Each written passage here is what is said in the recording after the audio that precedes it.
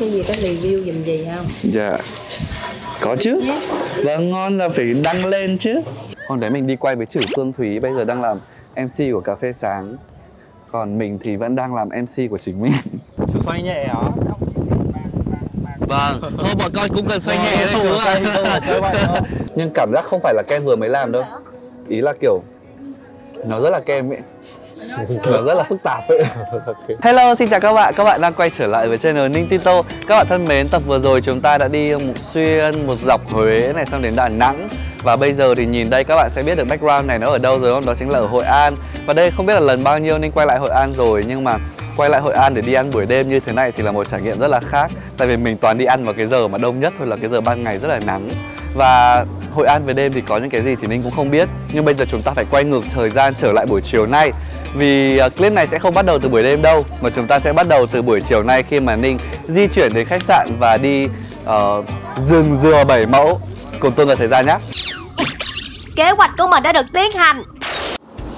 Hello các dân chơi, mình vừa mới check in tại Citadin xong. Thật ra thì đây nó là một cái khu kiểu hơi tổ hợp một chút Vừa khách sạn, vừa vừa có mall, vừa có dạp chiếu phim Vừa có nhà hàng quán ăn, bể bơi, rồi khu bãi biển.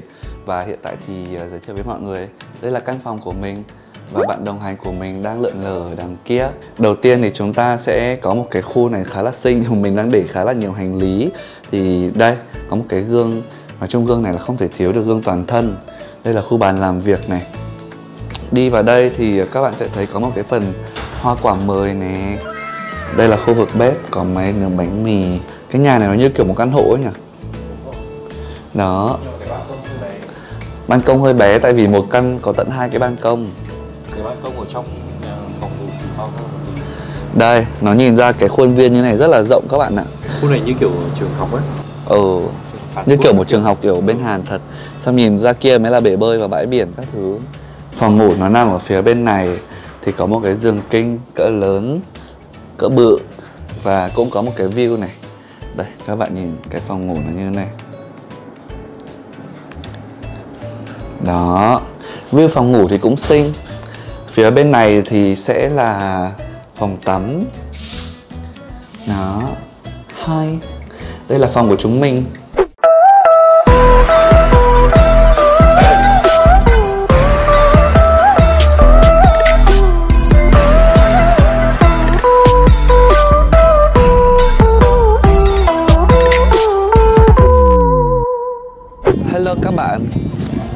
Sau khi nghỉ ngơi một chút thì chúng mình đang có mặt tại rừng dừa Bảy Mẫu. Thật ra thì uh, đến với cả Hội An thì sẽ không có quá nhiều hoạt động Nhưng mà mỗi một hoạt động khi mà các bạn tham gia nó sẽ có những trải nghiệm rất là khác lạ.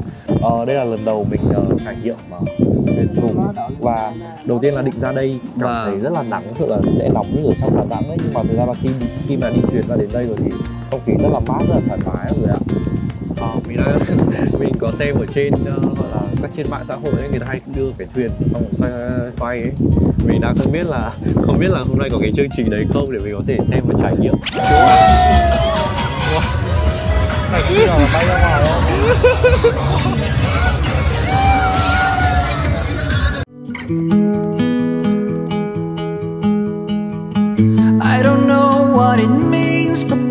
a smile upon your face. And I see something shimmering in your eyes. And they say if you want to glimpse the future, you need space. And you said you'll put down your morning guns. Would you follow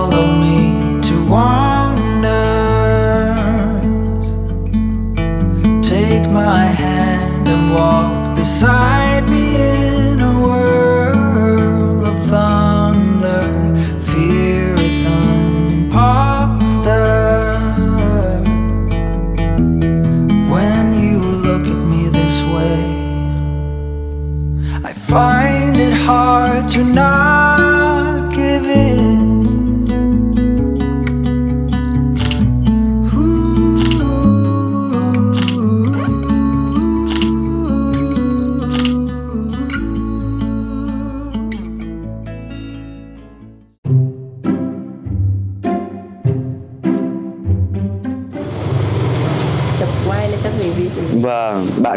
qua đây là phải qua cô ăn Thì con ở ngay An Bàng này thôi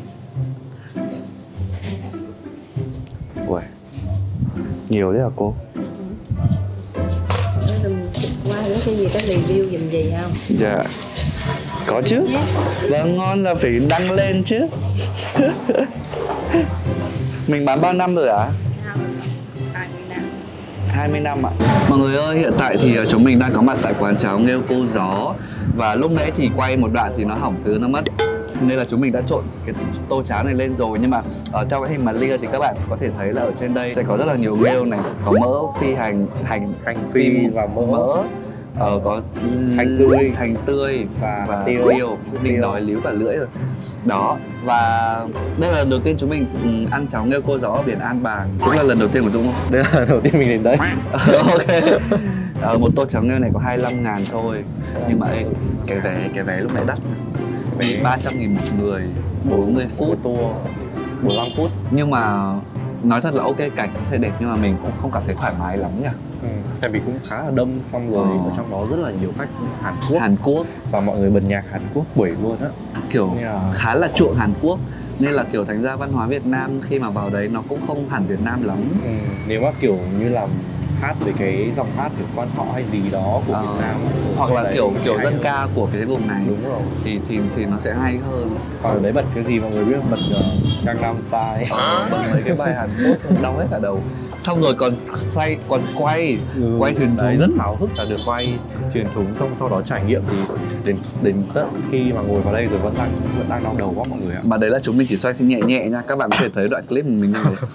Xoay nhẹ nhẹ nha chứ mà xoay mà kiểu loạn hết cả lên thì không có mà ôm cái thúng luôn. Xin mời mọi người. Thôi thơm quá. Wow. Sao? con nêu rất là to luôn á. Ăn rất là đã. Ừ. cháo hạt vừa thơm vừa ngọt. Nó có, có cả một chút rau răm nữa. Đấy các bạn ạ. Cháo nó cũng loãng thôi. Cháo hạt loãng. Cho bột ớt vào có vẻ sẽ cay cay ngon hơn đấy. Nhưng mà cái nước nó ngọt. Nhưng mà như thế nó lại dễ ăn. Ờ. Bình thường cháo. Ừ. cháo nghêu. Cháo chai ở hà nội là sẽ khá là đặc. Ôi còn lẫn miếng xương này. Miếng thịt. Mà đúng là ngon thật. Cũng ngon đấy thịt xương hơi ngon hơi hơi được bợ bạ một chút. Ôi, ăn cháo nghêu cho ngon nhất rồi bởi vì ở đây bán cả cháo xương nữa. Thầy nghe nói là cháo xương là một khúc xương rất là to. Đấy á? Cắt ngang qua các bạn chắc ăn hết mất rồi. Không nhìn thấy cái đấy. Chúng mình chỉ ăn nhẹ thôi. Tại vì tối nay ôi cái bột ớt. Tối nay chúng mình có đặt bàn ăn ở khách sạn Citadin thì ờ, Ninh ờ, nhờ để được set up một cái bàn khá là kiểu chill chill bên hồ bơi không biết là Dũng Hoàng có hay đi chill chill kiểu trong ờ, resort không hay là hay đi du lịch bình thường không? không Dũng Hoàng hay đi um, thường là Dũng Hoàng ít ở trong khách sạn lắm Dũng Hoàng hay đi kiểu khám phá Trải nghiệm. ừ. Hồi còn trẻ ấy, Ninh cũng hay đi khám phá. Hồi Ninh còn trẻ ấy các bạn. bây giờ cuộc sống không cho phép đúng không Bây giờ kiểu giữa những cái chuyến mà kiểu ví dụ đi Huế là mình đi đi trải nghiệm rồi nhá, đi du lịch rồi thì sau đấy mình muốn nghỉ ngơi ấy. Nên là mình sẽ tìm vào các cái resort hay khách sạn. Mà thấy cái phòng ở đây cũng rẻ. Mình không nhớ bao nhiêu nhưng Ninh sẽ bán mức giá ở đây tại vì là hôm đấy Ninh đặt Traveloka thì nó được giảm giá. Còn cái mức phòng đâu đó hình như nó có gần 2 triệu một đêm á. Mà nó đúng kiểu căn hộ ấy ừ. chứ nó không phải là kiểu ờ, khách sạn.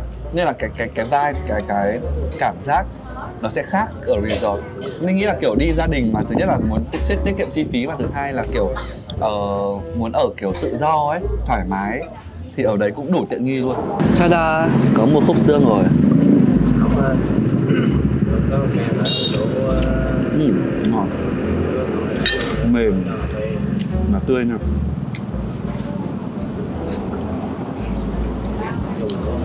vừa dặm quá nhưng mà ở đây cháo nghêu vẫn ngon. Ăn cái con nghêu nó sạch đấy các bạn. Hai tô nghêu xương. Hai tô không hành lá xương Ừm. mềm lắm. Cảm thấy là bây giờ cái này ngon nha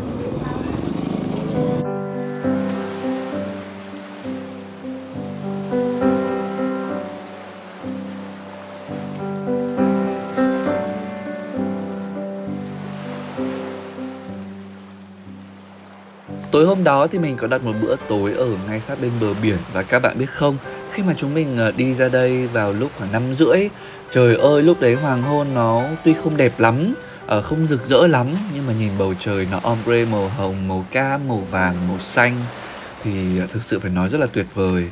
ở nghe tiếng sóng biển vỗ này, nghe tiếng nhạc du dương, rồi thì tiếng gió nó thoang thoảng quanh mình thì đây phải nói ra là một cảm giác rất là chill, rất là nhẹ nhàng và đây thực sự là một chuyến đi nghỉ dưỡng thú vị. Đồ ăn ở đây thì cũng khá là hấp dẫn đấy các bạn ạ. à, một khẩu phần ăn rất là ngon, đầy đặn và no nê. à, để biết mức giá cũng như là nhận xét về cái khẩu phần ăn này các bạn có thể truy cập vào Instagram Ninh Eating để có thể khám phá nhé. Còn bây giờ thì hãy cùng chúng mình tận hưởng một bữa tối cực chill bên ánh nến lung linh và lắng nghe uh, điệu nhạc du dương này nhé.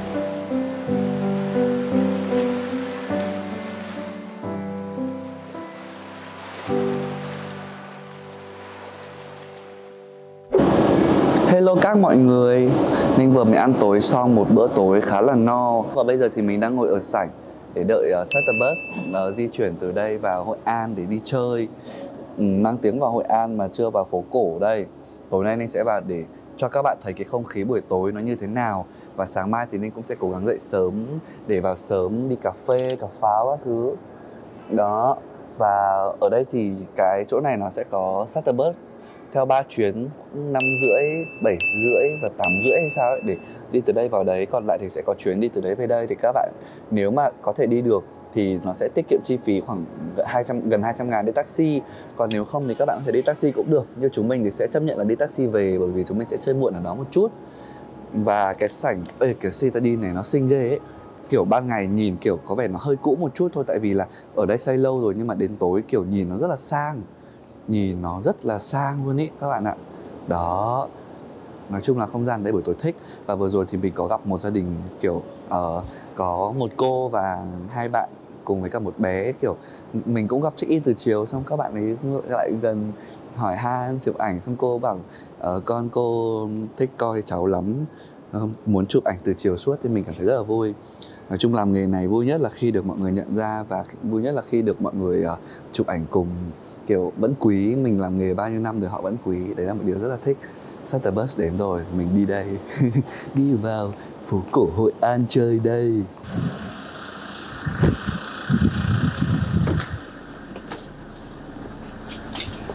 A few moments later. Bình thường khi mà vào Hội An thì ờ, nhắc đến ờ, bánh mì mọi người sẽ nhớ đến Madame Khanh hay là uh, bánh mì uh, Madame Phượng. Nhưng mà ngày hôm nay thì Dũng Hoàng có bảo mình là đi ăn thử một cái hàng khác là hàng gì vậy? chính là hàng bánh mì sum Sum á? chính xác Sum hay là Sum?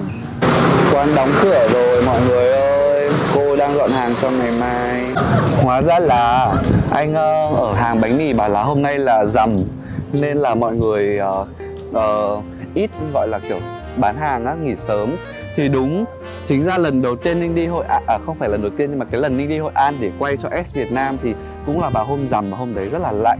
Thì kiểu mọi người còn đốt vàng mã đầy đường cơ. Nhưng hôm đấy đi sớm và trời nó rất là lạnh. Hôm đấy mình đi quay với chử phương thúy bây giờ đang làm mc của cà phê sáng. Còn mình thì vẫn đang làm mc của chính mình ờ, vào đây thì uh, dũng hoàng lần đầu vào hội an buổi tối thế nào? Buổi tối rất là mát. Lại vẫn mát. Buổi chiều nó đi ra này cũng gì cũng mát. Ờ, thấy ờ, khá là yên bình thế là thành phố khá là chậm chạp chậm rãi. Nói chung là chill.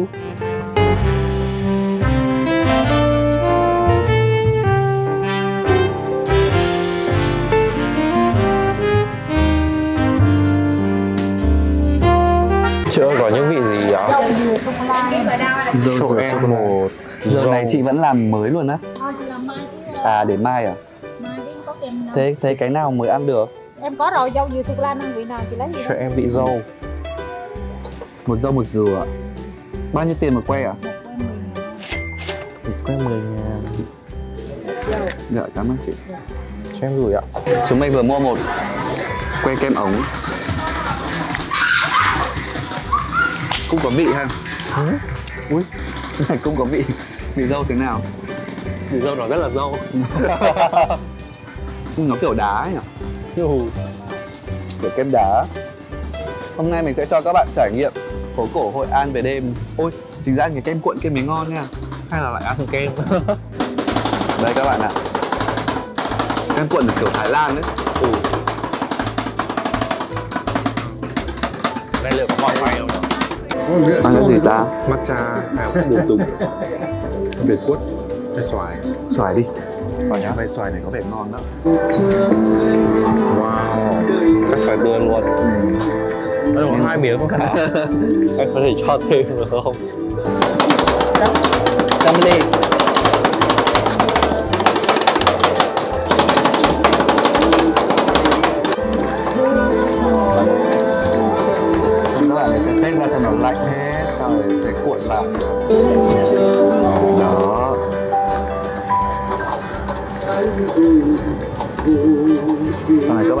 xếp vào cốc Tường thuật trực tiếp đấy bạn. Gọi là cái ly. Ly. Cái ly. các bạn này sẽ làm. Ok.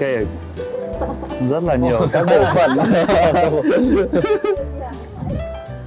Bộ máy. Ở dưới siro chocolate dưới chocolate lên. Gửi tiền nhé. Ừ. bao nhiêu ly này hả bạn? Dạ, bộ máy. 40 ngàn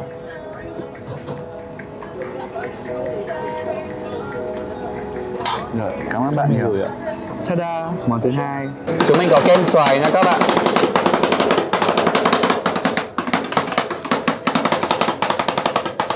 Ừm. Nó hơi dẻo dẻo nha, béo béo và rất là thơm mùi xoài. Bởi vì khi nãy các bạn có cho cả một chút siro nữa Cộng với cả xoài tươi.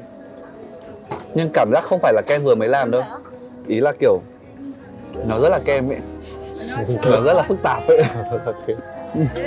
Có thêm một chút sô cô la nó hơi ngọt ngọt một chút nữa. Ừ. xin mời chúng hoàng chủ. Ok. Nó hơi dẻo dẻo. Ừ, hơi dẻo dẻo. Kiểu gelato. Hơi chua chua. Một chút vị xoài. Ừ. cũng được. Tưởng là cái siro um, Cái gì nhỉ? Chocolate này. Không hợp nhưng mà ăn lại rất hợp nha. Giới thiệu với mọi người mình đang đi qua chùa cầu nhưng mà chùa này thì họ đang tu sửa ấy. Nên là phía bên này các bạn sẽ thấy họ chắn hết. Đó. Họ đang chắn để sửa hết cả cái phần cái kênh cái loại kênh rạch này. Và bây giờ thì mình mới ờ, bước chân ra ngoài. Ôi hôm nay là rằm nên là nhiều nhà thắp hương ghê luôn. Đây, bên này họ đang sửa Nguyên cái cầu mọi người hay check in đó. Còn bên kia là sông. Thu Bồn, à sông Hoài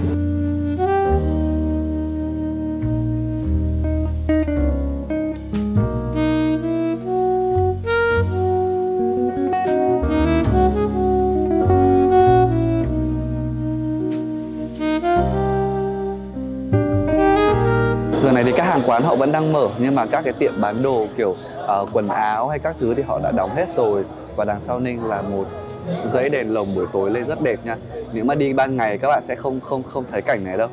Ờ, đi buổi tối mà đặc biệt là vào cái giờ muộn muộn này. Bây giờ đã là một chín rưỡi rồi thì nó vẫn còn hơi vắng vắng một chút. Còn cái xinh Bây- ha Quán nào Hôm nay đang mải mê chụp ảnh. Chúng mình quyết định ăn chè. Đó, Ê, ăn ngang với bỏ ăn chả cẩm không? Không biết nữa. Xoa xoa. xoa xoa là chè gì ta? Cái chè ông nhân hay nhỏ ấy. Cắn luôn hả? À, thập cẩm Chè xoa xoa là chè gì? Sơ là hai lửa thạch đi. Xong rồi À, là thạch. đường gừng cái xíu đậu À, xanh thế cho con một xoa xoa. Một, một xoa xoa với một ờ, ăn đậu hũ Đậu Trừ những chè tao hết đồ hũ rồi cả nào ơn anh. xin mời thử nhá Thực ra đây là nó vâng sẽ cố gắng ạ cái cái cố gắng phải hơn thế biết rồi. Vâng. Nhưng mà cái thạch trắng ấy thì là chưa biết là gì. Ăn thử xem. Thạch trắng ấy như kiểu thạch dừa không? Hay nó chỉ là rau câu ấy? nó vẫn là thạch găng. Nó vẫn là cái này này. Ờ, nhưng màu trắng. Thế nên không phải thạch găng? Đây là đây đây là cái gì? Thạch xương đen sáo. xương sáo. Ừ nó xương sáo nhưng là phiên bản màu trắng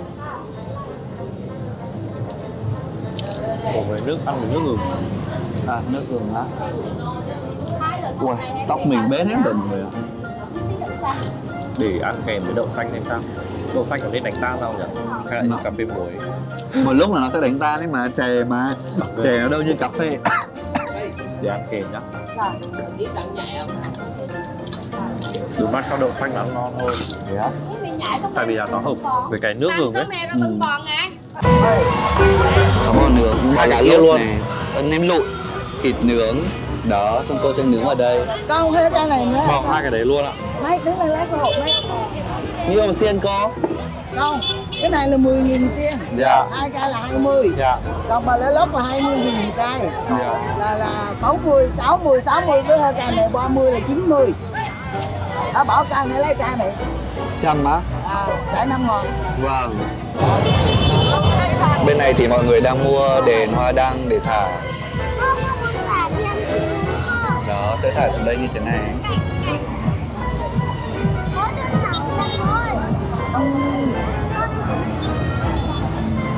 Ok, chúng mình có ba xiên nem lụi này. Ờ, Xiên uh, bò nướng lá lốt và thịt xiên. Ăn kèm với cả đây là các loại mắm Cùng với cả bánh ướt cuốn.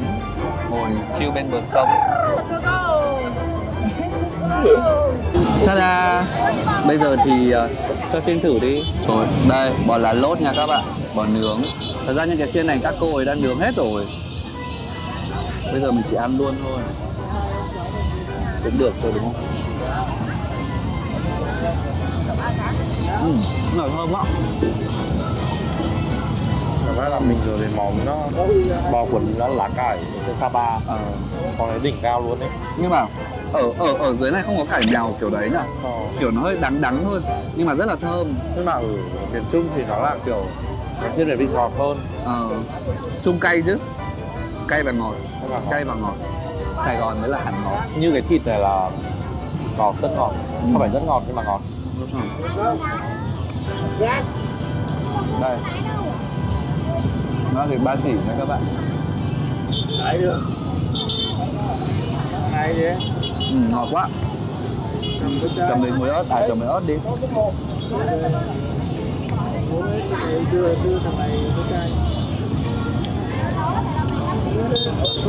Cái nước chấm này cũng ngọt nha. Ờ. Đó, mình phải cuốn. Thực ra ở trong cái phố phố cổ này cũng khá là chill. Rất chill. Đúng đúng cái style mình thích. Style của Dung Hoàng thích là gì để các bạn Để xem các bạn ấy biết Dung Hoàng thích kiểu uh, chill chill kiểu uh, hơi uh, vintage hơi retro một chút. Giống như cái quán cà phê của mình vậy. Quán nào ấy nào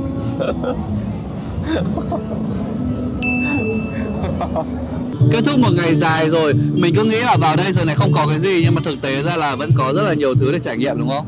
đúng thế. Ờ, hôm nay mình đã được trải nghiệm ở Hội An về đêm và các bạn hãy chờ đón xem ngày mai chúng mình sẽ đi vào khám phá Hội An buổi ban ngày xem như thế nào nhá.